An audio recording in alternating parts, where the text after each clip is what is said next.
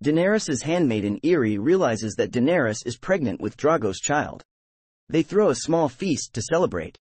Jorah Mormont is troubled by the news and sends word of it to his paymaster, Varys, in King's Landing. Daenerys tells Drogo she is certain the child will be a boy. Daenerys strikes Viserys after he threatens her and her unborn son. King Robert Baratheon orders Daenerys, her unborn child, and Viserys killed. In Vaes Dothrak, omens are taken and the crones proclaim that Drogo's son will be the stallion who mounts the world. Daenerys names him Rhaego for her deceased brother, Rhaegar. Later, during a feast to celebrate, Viserys threatens to kill both Daenerys and Rhaego unless Drogo upholds his end of their bargain, to assist him in reclaiming the Iron Throne. This prompts Drogo to kill Viserys by pouring molten gold over his head. Daenerys and her unborn son are later nearly killed by an assassin sent by Robert Baratheon, although they are saved just in time by Ser Jorah's intervention.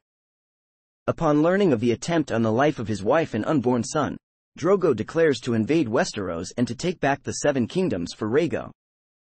On the borders of Lhazar, close to the Red Waste, a heavily pregnant Daenerys has Mirri Maz Duur perform a blood magic ritual to save Drogo from an infected wound.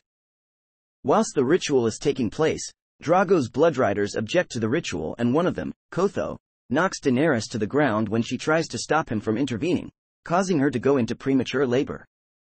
Desperate to help her, Ser Jorah brings Daenerys into the tent where Mirri is conducting the ritual, despite her orders not to let anyone enter. Rhaego is reportedly stillborn and comes out looking like a monster. Mirri Maz Duur claims that he had scales like a lizard, was blind with bat-like wings, and had innards full of graveworms. She also says that when she touched him, his skin fell away from his bones, and that it was his death that paid for Drogo's life.